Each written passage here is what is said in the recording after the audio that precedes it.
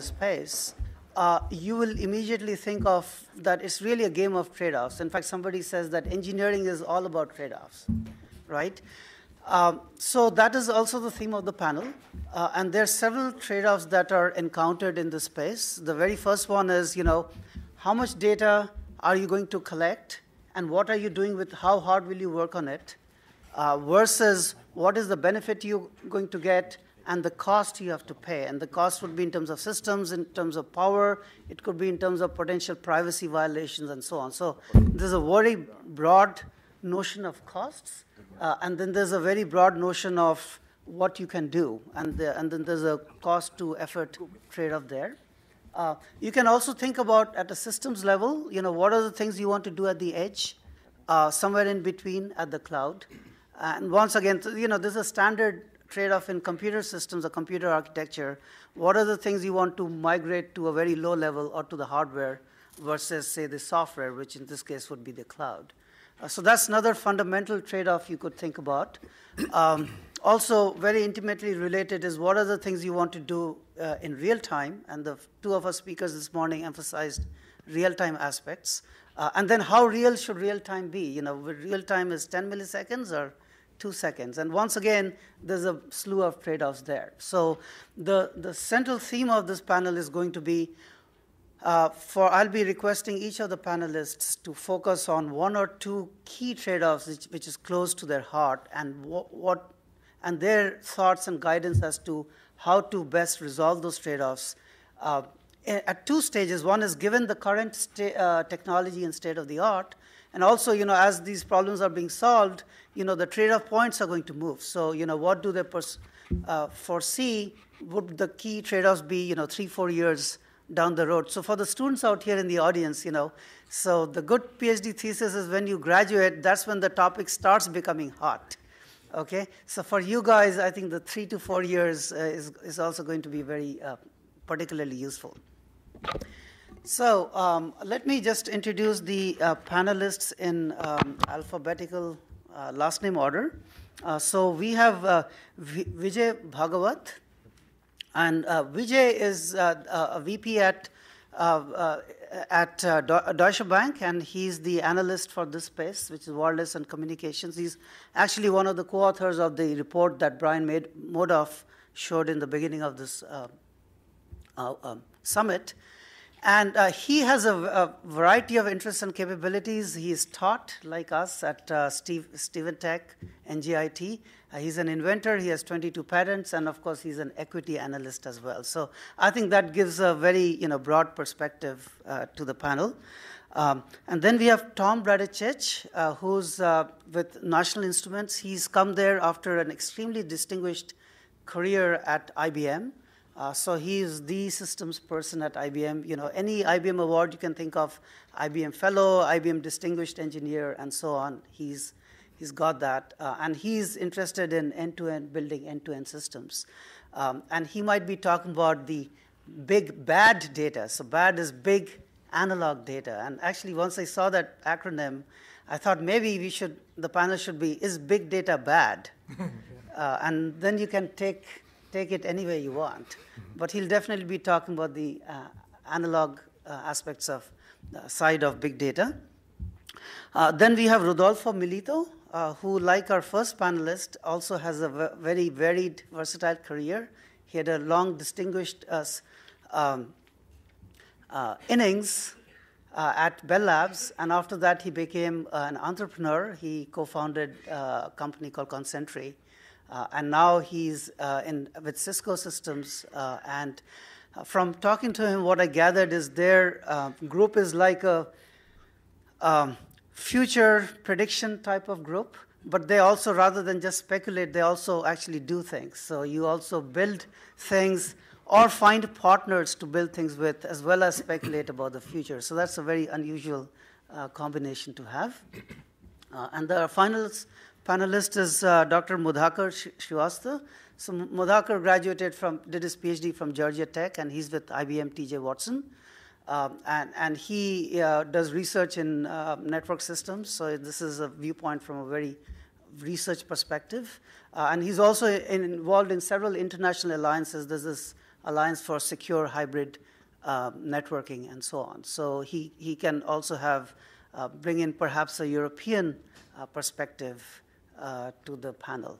Okay, uh, so I would request each of the panelists, since you're already sorted in alphabetical order, so to go from, well, my right to left, uh, and perhaps spend six to eight minutes, um, you know, with your thoughts on this.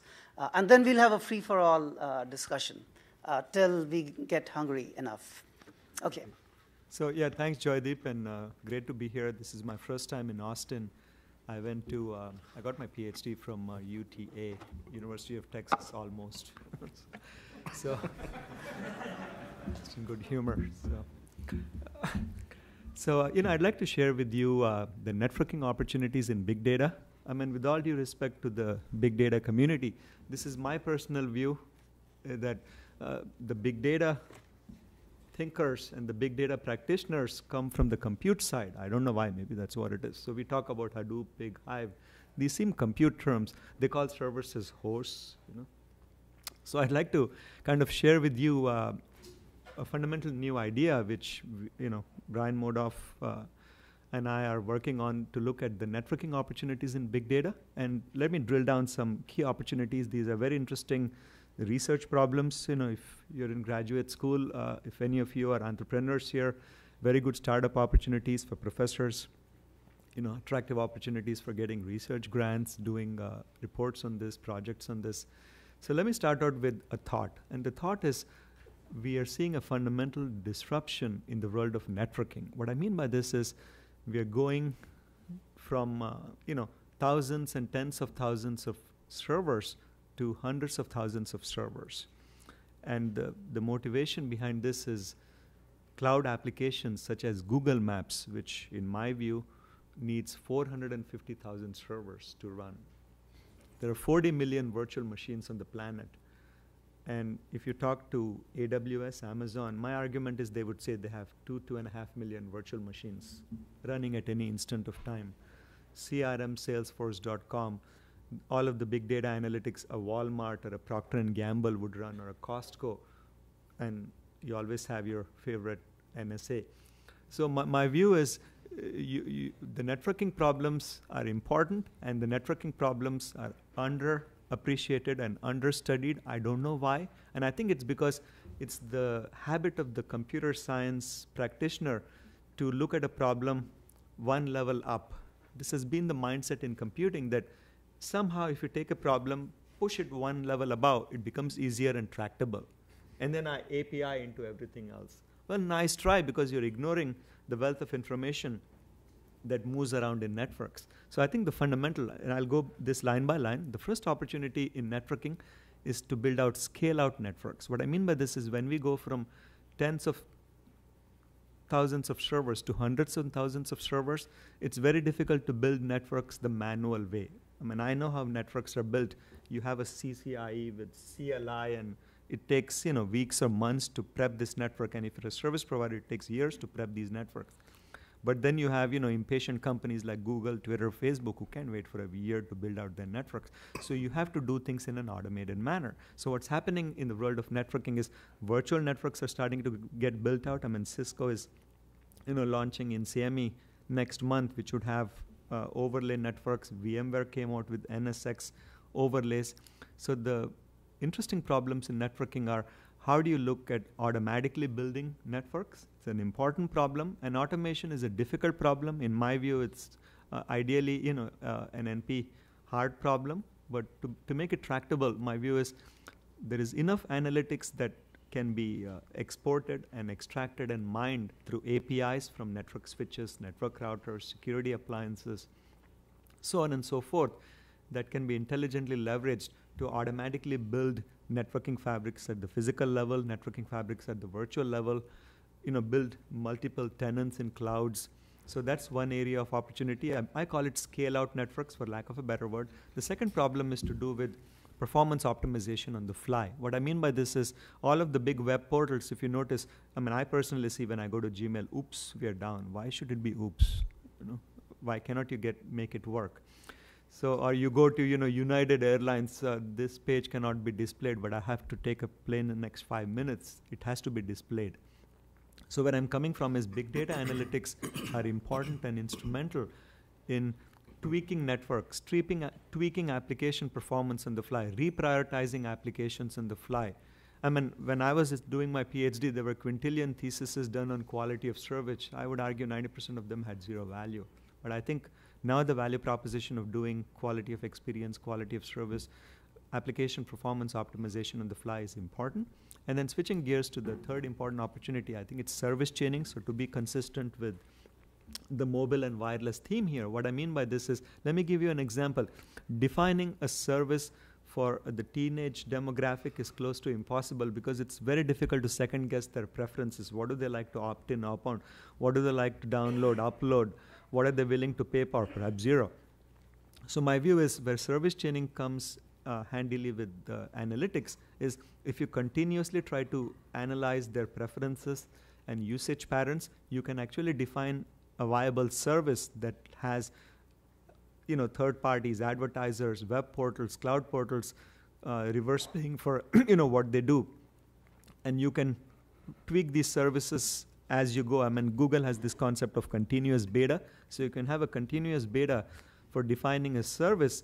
And then if you run this thing in time you can actually get a, a practical service which would ideally uh, you know appeal to the teen demographic and then it would evolve over, time because every demographic has changing preferences. So just to make it short, scale out networking, especially for web and cloud scale applications, big problem, important problem, startup opportunities, research opportunities, application performance optimization, leveraging big data analytics, important problem, service chaining, creating services on the fly, important problem. Thanks. Thank you. You know, uh, my, my colleague Vijay mentioned uh, the importance of websites when they go down when you're attempting to uh, address them. I noticed Instagram is down. Uh, therefore, let me just describe to you what I had for lunch. so most of us are not under 25 and don't know what I uh, just alluded to. you just got it. Yeah? I did. hey, um, as I speak with you, I am going to uh, do it in a um, analog measured time frame of about 480 seconds. And uh, as I speak with you, um, uh, several trillion uh, shifts of radiation will take place with the cesium atom, an analog event. And I will transmit to you analog information using uh, images and light and sound, and your eardrum will vibrate, another analog event. And you'll keep comfortable with the wind flow or the airflow of the uh, AC units and the slight vibrations in the vents, analog events you know, happening. You'll see me with the light. You'll see my motion analog event. Uh, the comfort you'll enjoy will be driven by voltage, current, analog events. You see where I'm going here with, uh, you know, with this notion. Then you will become bored with what I say, and you will apply pressure, an analog event, to your cell phone, and begin to process texts and emails, and you will launch them somewhere, right, with one or three or more radios, Bluetooth, you know, wireless or cellular. Again, you know, analog events. And um, speaking of that, real quick, at IBM, I was able to um, uh, observe a phenomenon called the, uh, the PTE, the process text and emails. That unit of measurement, by the way, is inversely proportional to the interest of the speaker. And the inverse proportion holds with respect to the authority of the speaker. So in business, when the boss came in, it would, uh, it would go down significantly regardless of whether he was interesting.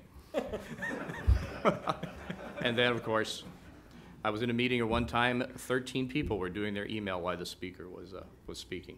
Anyway, as I move on here in this uh, 480 seconds, um, this is all a particular type of data that's different from what my colleagues are talking about today and maybe likely will for the rest of the day. It is a um, data we call big analog data, and it is everywhere.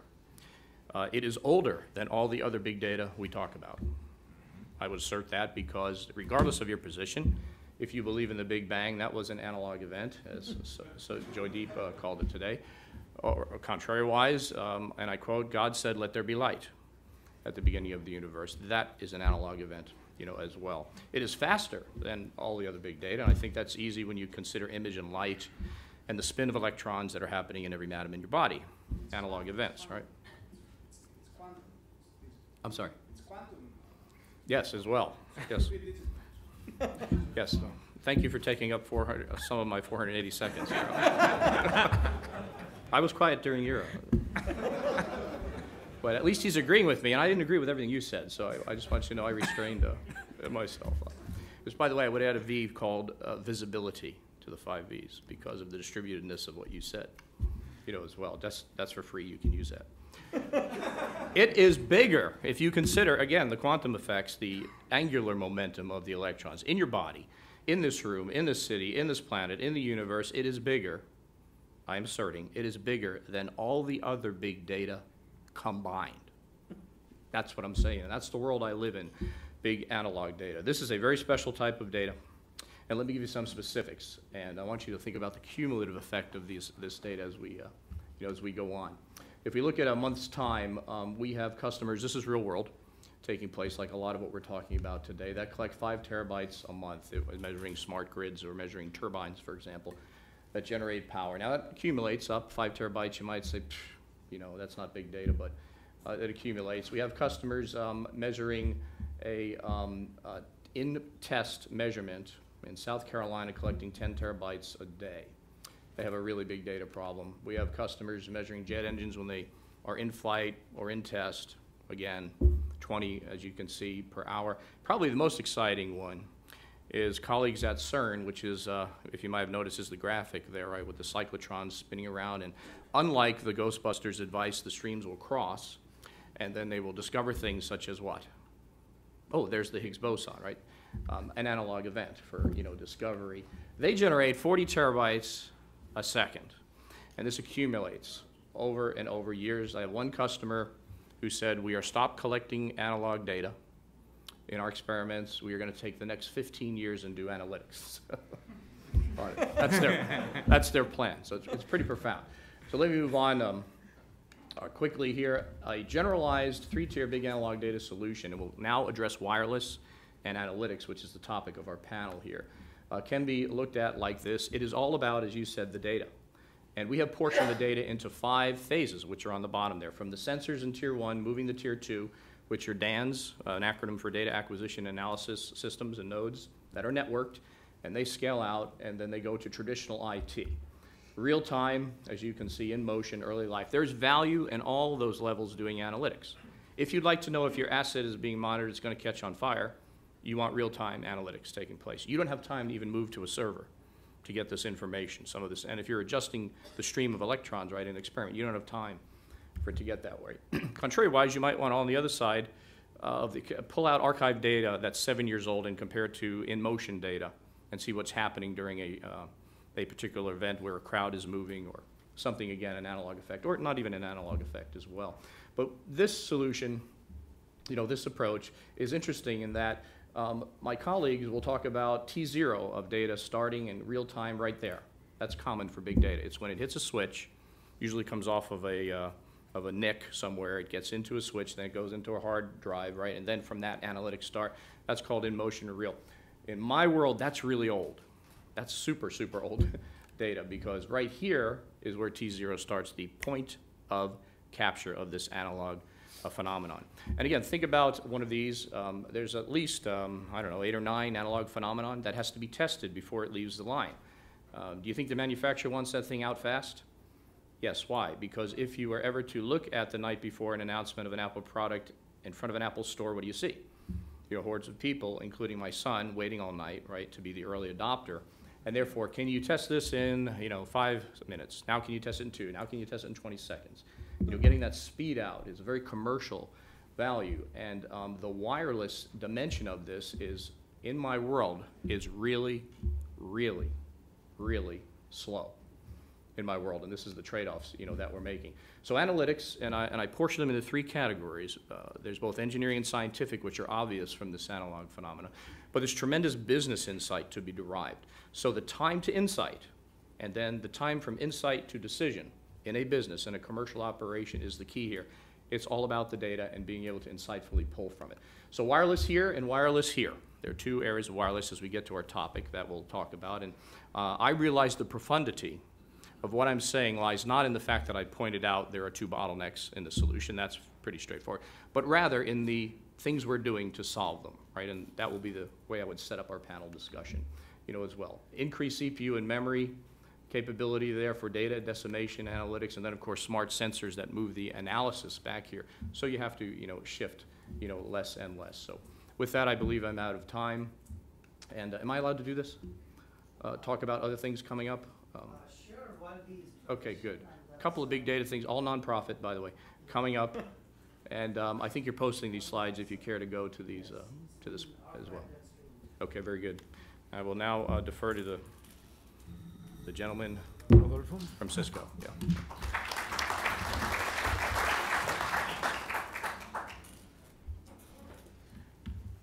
Well, it's very refreshing to hear Vijay talk about the network. Um, really, five years ago, I did, uh, at that point, cloud computing was coming on board, and it was kind of funny. I mean, in many events, I mean, the network was totally absent in the discussions. And if you brought them up, people look at you and say, what are you talking about? Anyway, that's, and thank you, Tom. I mean, you're, you're bringing something that resonates very much with things I'm going to say. Uh, this event is, let me make sure that I start this so I don't go overboard.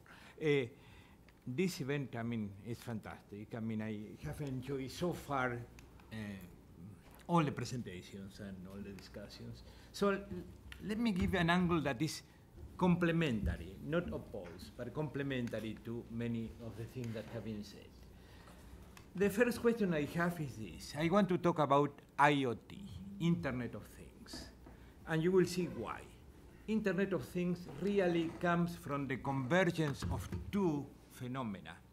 On the left, we have IP networks really expanding beyond the original Internet. I mean, there have been islands so far of using IP because of the productivity in, uh, increase and all that. And on the right, we have the phenomenal advances in wireless. I mean, and we have had a lot of conversations already on that. Now, as a result of that, we converge into a world of trillion of endpoints. And this is the interesting piece there, and I will remark on that later, is that the internet meets the physical world. I mean, DARPA started the term cyber physical systems years back. Uh, this is my favorite thing. Really, is the internet just not communicating messages, but really interacting physically with the physicality of the world. Now, uh, I claim that we go through, we are going through a momentous transition. Today, we have two to three billion endpoints. I don't know how many, really. Uh, in 2025 or so, we will have one trillion. So the first point is, we have a scalability problem, don't we? And we have a connectivity problem. And the obvious answer is yes, we do have that. But there is more than that. And the point I want to remark, because to me this is a fundamental piece, is today what we have is on the left, we have a, almost in every case, almost behind every endpoint, like a smartphone or a tablet, we have a person. As we move to IoT, those sensors will not be, are not being individually connected to the cloud. What we are going to see, and we are already seeing, are systems integrated, I mean, in which we have sensors and actuators. If you want to call them a, a mega or a, a, a macro endpoint, be it, but a connected car has many sensors and actuators within itself. And we cannot just throw the numbers by a trillion or one trillion, two trillion, and claim that that's the problem. Oh, is it better? Probably. yes. Uh, thank you. Uh, so the, the issue is, in this new world, we need to think about not in individual terms, but we need to think in, as a system what we are doing, what we are doing or want to do in oil and gas, in a smart city, smart grid, etc., etc. And so that requires a system view. And that brings a number of new challenges, opportunities, and there are very important implications for big data and analytics that I will go briefly uh, uh, on. In the first place, we have a very large number of geo-distributed sources. I will elaborate a little more on that. In many cases, we need actionable analytics in real time. We need to make decisions and act and close valves when there is a leak, right there. And uh, then there is a lot that puts a lot of um, load on data management at the edge. And for this, there is some, a concept I want to introduce you to, which we call fog computing. Fog, well, of course, I live right now in Northern California, so I am very familiar with fog. That's the Golden Gate. You barely see it.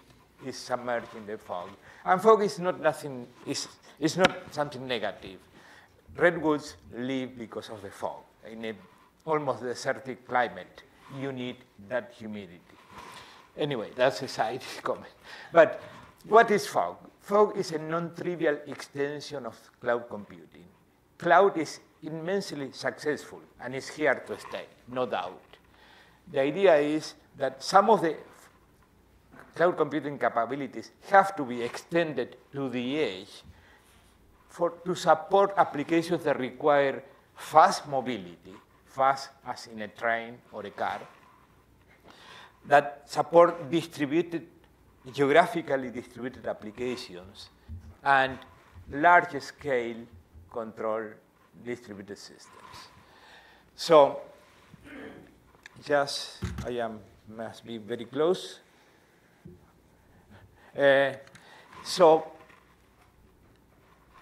this is complementary. It's not intended to substitute what has been said before, but people characterize, and I agree with Alex, I mean, I don't necessarily like that classification, but uh, big data as volume, velocity, variety, and veracity. I had for, I forgot the for V. Well, I want to add another concept, another dimension, which is the geo distribution. To me, that is something emerging that we need to pay attention to. And it has a different character. I mean, uh, today, I mean, we have mentioned Hadoop a number of times in a very good way, because I agree with the statements that have been made about Hadoop. I mean, the value and the, the con they have been put in context. Analysts went overboard with Hadoop, in my opinion, in the past, and associated everything that is big data, oh, it's Hadoop. I mean, those are two different concepts, right? And the, the point is that if we have a multiple sources of data distributed geographically, the problem is not the Hadoop problem. It's, it's, a different thing that we need to handle. And for that, we, what I claim we need is a platform that is hierarchical, uh, first distributed, of course, has compute, networking, and storage capabilities at the edge, but also is organized hierarchically and also interacts with the cloud. Because big data, and yesterday we had a wonderful conversation with Joydeep on that, data has different time scales. There are time scales, uh, there is, I don't have time for that, but essentially in, in grid, in the smart grid, for instance, you see things that are actionable in milliseconds at the level of machine-to-machine interactions that need to take place, particularly now with alternative sources of energy and all that, all the way up to the cloud in which you store data that comes from years and you have to be, make predictions about the economy, about where to get um, sources of energy and all so on. So I, I hope I conveyed some of these disruptions that I see coming and that we need to pay attention to.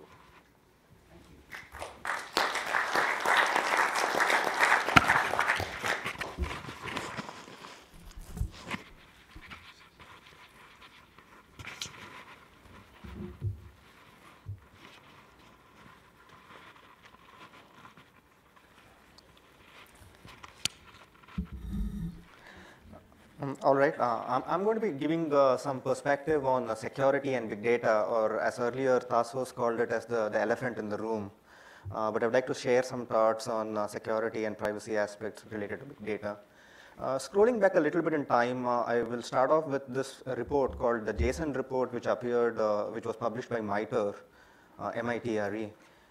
They looked at intelligence analysts who were analyzing data from various data sources uh, the classical access control model that's used there is uh, what is known as a multi-level security access control model. Let me oversimplify it by saying that there are four different labels called unclassified, classified, secret, and top secret. A document or a piece of information is annotated with one of these four labels. When an analyst derives an information from document 1 and document 2, he has to associate the derived document with a label which is the max of the input documents. For example, if I derive some information out of a secret document and a classified document, the derived information becomes secret, for example. The observation that they pointed out was that starting with a corpus of information, uh, look at these analysts processing this data over a period of time, in just a couple of weeks, over 90% of the data becomes marked as at least secret or top secret. Essentially, what happens is that very soon nobody can access any of this result of analytics. I mean, you do all this fascinating analytics at really high speeds, but very soon the classification level goes up that you cannot rely upon your uh, access control models any longer. So what happens is that the access control model defaults from an automated system to a manual system where you know I go up the ladder, request my uh, whatever whoever I'm reporting to their permission, maybe it escalates one level higher. So it, it results in several days of latency uh, to get access to a relevant piece of information because of this uh, the way uh, security is set up. So what they pointed out is the need for security to be more agile. I mean, data analytics really becoming very, very agile nowadays. There is really uh, talks about things that are happening at several terabytes per second. Uh, you really can't, uh, uh security is becoming an impediment in the process, so there was a need to essentially make security a lot more agile than what it is today. So since then, uh, several folks have been uh, advocating these risk-based models of security. Essentially, what it means is walking the fine line. So there is this trade-off between utility and security or privacy of data, and you have to walk this fine line one way or the other. So to walk this, walk this fine line, essentially what is required is a price tag. You know, we have been very effective in putting a price tag on, say, a shoes, a purse, a shirt. We even put price tags on more esoteric and intangible items like car insurance. We can put a price tag on a human life in the form of life insurance. But it somehow, uh, while uh, we have mastered the art of putting price tag on so many other things, it has been somewhat challenging to put a price tag on a piece of information. It's at times mind-boggling that we can put a price tag on human life but not on a piece of information just as easily. So there are at least uh, three different reasons that people point out as to why this could be the case. Uh, the first is uh, what is known as the join problem or the fear of the unknown. Um, to explain that problem, I'll give you a very simple example. Let's suppose you have one database which has, uh, say, it's, it's, on the, it's a census data, population of the US. One database has, say, age, sex, and some identifier, and another database has, um, say, zip code and identifier. Now, individually, these databases are known to not have any unique identifying capability, meaning there will be several people who have uh, very similar characteristics in terms of, say, just uh, the name, the, the age, and the sex, or in terms of the zip code.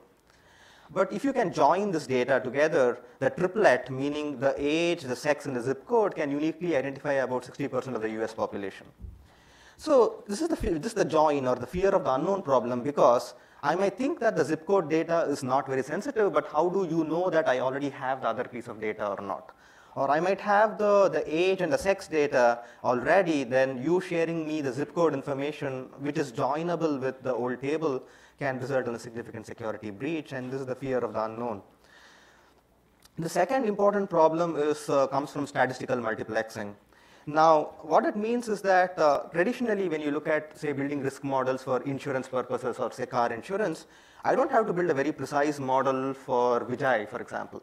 I need to be uh, precise enough for a population of users because I'm insuring, say, a million people or tens of millions of people. So even if I make some mistakes with respect to Vijay's model, as long as the aggregate adds up, the law of large numbers works in our favor, and everything is jolly good. Now, this is almost counterintuitive. With big data, the law of large numbers should be in our favor because we are not talking about millions, we are always talking about billions or uh, uh, even larger, even larger numbers, which, uh, as per Alex, doesn't mean anything but for being a very large number. So it should work in our favor, but unfortunately it doesn't because uh, unlike uh, uh, uh, the sort of other insurance models, there's sort of level of statistical independence between me running into an accident versus Vijay running into an accident, for example. But big data platform, as much as it can enable you to process on large data in one go, it can also help you steal large data in one go. So the, the sort of the independence assumption sort of starts to break down when things can be stolen in, in, in, in group or in, in bulk quantities. The third problem is the undetectability problem if, if, if, if I am engaged, if I, if, I, uh, uh, if I encounter an accident, I know that I have been in an accident. Uh, if I get hurt, I know that I have, I have been hurt. But if I lose a piece of information, I may or may not know that I have lost a piece of information. So undetectability is another serious problem that uh, arises when it comes to sort of uh, protecting big data. So with, with these three challenges in mind, uh, I'm not going to prescribe any particular solution here, uh, but the outlook has been in terms of uh, in terms of enriching your risk models, enriching your risk models to make them more agile, make them more flexible, so that when the operation demands, you can sort of uh, you can sort of telescopically zoom in and zoom out as to how rich of a risk model you want to use versus how much more abstracted model you want to use depending upon time and resource availability constraints. Uh, so with that, I'll. Uh,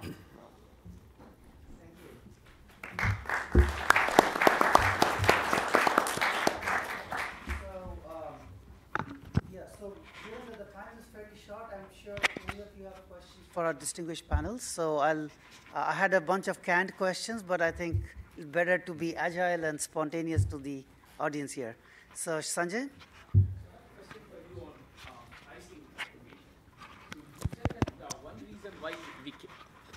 One of the reasons why we cannot uh, price uh, uh, information, whereas we could, uh, was that uh, the join problem, right? Right. But isn't that the same thing true with humans? I mean, I sit next to uh, Todd here, and then we collaborate, and something remarkable comes out. Right. But still, you have a life insurance for me Right. as opposed to me and Todd. So it's exactly the same thing. No, I, I've heard this example. The classical example I've heard is me being a physicist and you being a computer scientist, and we invent the first working uh, quantum computer, for example. yes, uh, uh, that is indeed the case. So that might just mean that we have to sort of better understand those risk models, convert, identify what is the problem in mapping those risk models that come from, say, the insurance or uh, other domains and borrow them into the information world. So this has been easier said than done. So there have been several efforts to get this rolling. Uh, in fact, it's not very clear, in fact, how much the life insurance takes into account that you may be able to collaborate with somebody else and produce enormous amount of information that otherwise would not have been accessible by the two individuals, for example. So this is something that may be a common problem to both information and, uh, and people. But what is different with information is that the cost of joining is very low. Uh, oh, you had a follow-up question? Follow first. Oh, sorry. Um, in the human context, the price of anybody's life, my insurance, depends only on my health state, not what I can do or what I can't do.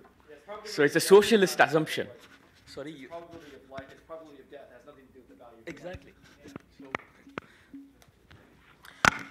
So that fundamentally points to the need for understanding value of information more than just the probability of death and what my earning potential is today. So you need these new models, you need these newer risk models for information that can capture all this information uh, so that we can handle uh, you know, the sort of security and privacy issues in big data. I'll, uh, I'll comment if there's not a question right away. Uh, I- And maybe you could, maybe this is a question for you. Don't we have a precedence when it comes to somebody stealing information? And the lawsuit ensues, and there's an award. That's the price, right? of That information. Could that affect, do you think, the, uh, the future of uh, putting price on data and information? Yes, so there is this sort of a feedback loop that you can build in. So, so there are some incidences that happen, some that get reported. In fact, uh, widely accepted percentage of data losses that are reported is way under 20% because it's a matter of reputation. Some people don't report it. Some people are, are forced to report due to regulatory reasons. Like, for example, if a hospital loses information, it's forced to report due to regulatory HIPAA. HIPAA uh, forces the hospital to report information. So there are, uh, there are some instances Trademark, of... copyright infringement. Yes. all put value on information. Yes. So there are all these pieces of, uh, of, uh, of the puzzle that really need to come together. And we cannot, and we have to reason on this, you know, again in real time because just unlike the past when I could, uh, you know, you could request a file and I could take all my sweet time to determine whether I should share it with you or not, in things like in, uh, Internet of Things or in terms of analog data that you are processing, I need to make split second decisions on what I want to share and what I don't want to share. So I need to be able to build these very flexible risk models, evaluate them on the fly with all the updated context information and make a yes or no decision. Good point. Okay. So more questions?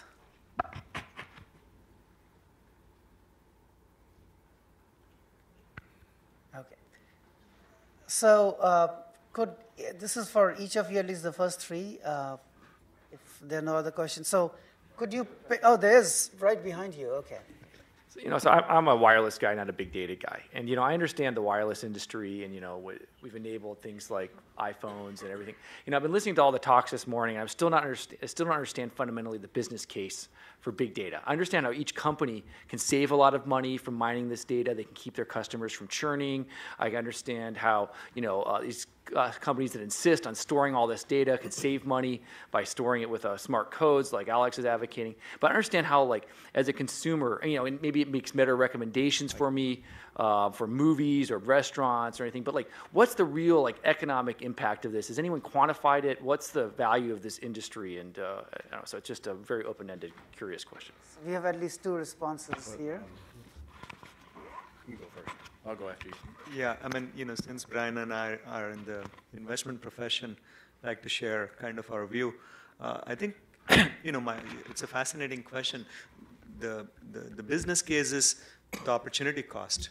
I think every business case starts with the definition of an opportunity cost. So if you look at building cloud scale networks, in my view, it's close to impossible to build a cloud scale network without some degree of automation. And to have some degree of automation, you need big data analytics. So hopefully that conceptually answers your question. And then if you look at you know some of these service chaining models, creating services on the fly, if you told a Verizon or an AT&T, you know, have a bulletproof plan for uh, the teenage demographic or for the business demographic, and this actually works, there's a willingness to pay for it. So my view is uh, it's, it's less about the, the value of big data per se, but it's about how big data can be used to solve technically unsolvable problems. I mean, it's very difficult to create the perfect plan for the teen demographic. It's very difficult to build cloud scale networks. It's very difficult to optimize cloud applications on the fly, the Gmail example. And the cost of outage of Gmail or Walmart's big data application is a finite number. So hopefully those answer your questions. Uh, it's also it, there's also a, a, monetization value to this uh, as well. So like if Starbucks figures out that at 9 a.m. a uh, ton of people drink their expensive beverages, I mean I'm not one of those, but uh, then they, they, they could actually give a promotion to leverage price elasticity and get more people to drink that expensive beverage. So that's big data at work at a very short time scale. That's the uh, related to the urban legend of the diapers and the beer. I don't know if you've heard that one. Um, yeah. Uh, uh, anyway, quantifying, I have a, a, real world example happening now. You may have heard of Duke Energy, one of our customers. They're the largest provider of um, power in the United States. And the business value lies in the fact that they can take an analog phenomenon called a vibration, process that, and with a special type of analytics called prognostics, if there's enough of the data, meaning bigness of it, right, you will get statistical significance. And from that can determine when the asset will fail. And if you can plan an outage, there's tremendous economic benefit than being surprised by it, right? That data is very intriguing. It goes from my world of engineering and analog data into the world of digital business intelligence and budgeting data.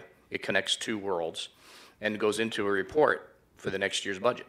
And an executive will look at the report and said, I see you have allocated uh, $9 million for a new turbine. Why did you do that? And hopefully they say it's because of us, right? We were able to help them achieve that, you know, as well. But then one more general point. and I think if you're in this business, you have an engineering degree, I'm assuming, because those that have them understand what I'm about to say. It's all about statistical significance. And therefore, small data sets limit your conclusiveness. Life is much, much based on probabilities and predictions, right? And therefore, the more data you can have to predict something, the better. And when you sell to a non engineer, it's hard to consider that intuitively. It's very subtle what I'm saying in the sales cycle of a, of a solution. But in the world where your customers are engineers, they don't want to, they don't ask, why should I create more data? They're asking, how can I get the insight out of it? You know, because I know it's there. So I'll, I'll let you answer, ask a question. This analogy is quite perfect, right? Because uh, when we do polls uh, ahead of elections, sometimes we can predict what the election results are going to be very, very accurately, even though our sample size is pretty small. So, you know, I think it depends on the context. If, if you do it right, uh, you can get very precise answers with not much data. If you know how to sample your data and, and how to, you know, get, get uh, the... Oh, there's always yeah, that case. I, I would agree with you, yeah. I just wanted to clarify the question. Um, So it seems to me you imply with your question that cutting costs is not business benefit. I'm not sure if I understand. But you know, if you think about it, you know, humanity uh, progresses by improving productivity. And the way you see productivity increase is as lower cost, right? So at some point, lowering cost has as much business benefit as increasing revenue. It's the same thing. You see exactly the same thing, but from two different perspectives. Yeah, I, I agree. I was I was trying to be a bit uh, inflammatory. I was just uh, you know. Uh, Good, good job. But uh, you know, it's obviously huge economic value to doing these things more efficiently and knowing what you're doing. Um, but I guess you, you know, like when I explain what I do to somebody, I can explain. I do wireless communications. Like you know, they, they, they intuitively there, there's new things, new products that have been enabled you could not have done without like smarter ways of doing communication. You know, smartphones. You know, all of us using wireless laptops. I mean, what what are like new world changing products that we're going to see from big data in 10 years? Well, the- I mean, that's a, that's a really hard question. Would you like to answer that? I'll just turn it over here. No, no, go ahead, but I mean, I want to make a comment. yes. But the, the, um, uh, I don't know if you were really just trying to generate the conversation, but there's case after case after case of value from the big data and, and, and also small data. I mean, it- Ahmed mentioned a binary case, right? So therefore, the smallness and the probability of getting it right is 50-50 without data, right? So the smallness of it is, um, is, is contingent there. But uh, I just want to say after, if you'd like to talk more about it, I can give you real hard information on this. Go ahead.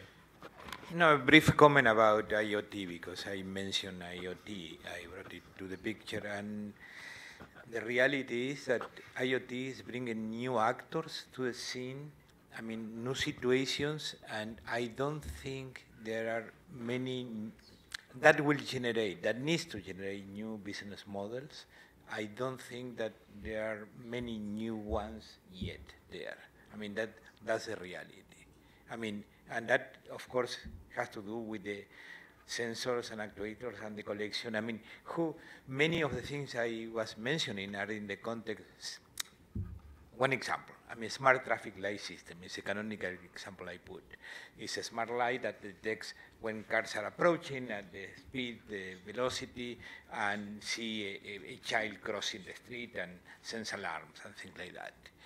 Uh, but that traffic light, of course, is coordinated with the other traffic lights at the other intersections. What is the value that you put to that? Who runs that? And who pays for that? Uh, um, those are things to address. To answer your question about the new technologies, I think that's what you asked. But, Well, one that is coming is what, what I would call inferential data. Some people call it fuzzy, some people call it, um, you know, different types of, of infor- information. But we live in a world of inferences, right? You're making them now about me. It's not explicit who I am, where I come from, but by looking at inferences. And if you have a spouse, you can determine uh, many times the mood, and because you're inferring the posture, the words, etc. This notion of analytics getting more intelligent and being able to infer requires lots and lots of input to be able to do that when the explicit data is, is not there. So uh, there are startups around the world, I assume, I know of a couple that are working on this notion of uh, fuzzy data or inferential data.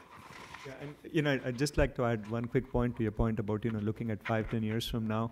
This is you know my view. Uh, five years from now, we'll see uh, e-health, mobile health as one of the primary use cases of big data. So in my view, you'll have an opt-in situation where uh, there are people who would not mind their you know vitals to be monitored and then send wirelessly to uh, their insurance companies or their primary care physicians.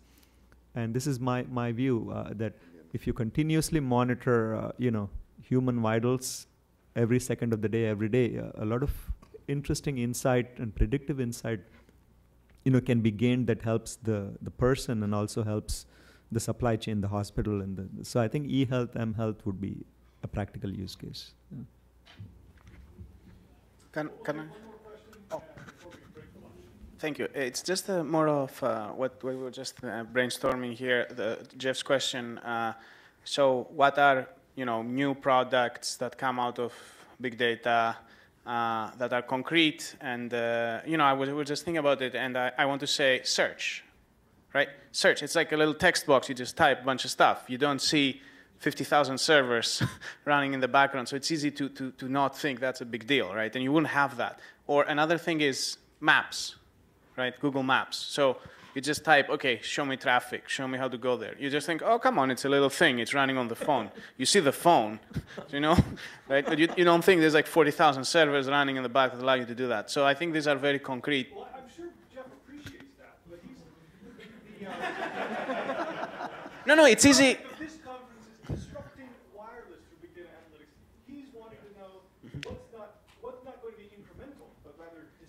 Well, I'm going to drive home. I can only drive, for example, home uh, because I can use Google Maps, right? Otherwise, I get lost.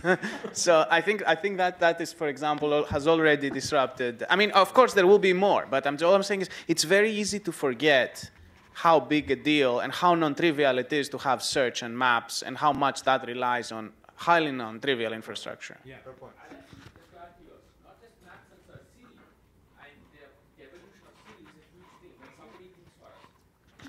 I would say Siri is of debatable value. Siri is of debatable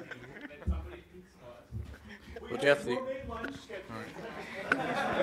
we stand between you and lunch. Outdoors, we pray the rain will be held back, and we'll be reconvening here at 1.15 for the afternoon session, which will focus more on location and big data. Okay, great. And I'd also like to thank our panelists once again for the insights. Thank you.